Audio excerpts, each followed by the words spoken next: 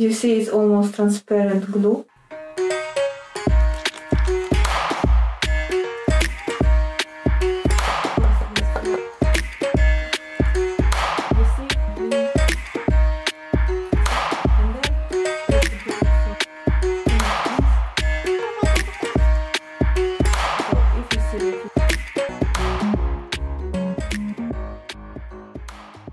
Here are two types of glue that you can use in shoemaking. But working with both these glues, you need to have good ventilation. So open windows in the room where you work with this glue to not damage your health. The brands of these two types of glue is not important. What is important is the use and the type of glue. This glue, for example, is contact glue for leather, is neoprene glue and working with this glue we can attach all, almost all materials except polyurethane. This glue is good for every material that you will want to use in your shoemaking craft, including polyurethane. So, if you will want to attach shoe soles made from polyurethane, you should work only with this glue.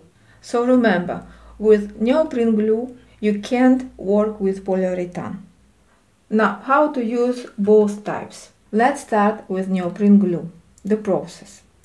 You should place glue on both surfaces that you want to attach. Then you need to wait 10 or 15 minutes until glue will dry. For better attaching, you can add second layer of glue and still you need to wait 10 or 15 minutes before you will attach it. After you will attach it, you finish the work. What is the process working with glue for polyurethane? First you need to clean the surface, for example shoe sole made from polyurethane. Then you need to place glue on both surfaces, on the shoe sole and on the surface of the shoe bottom.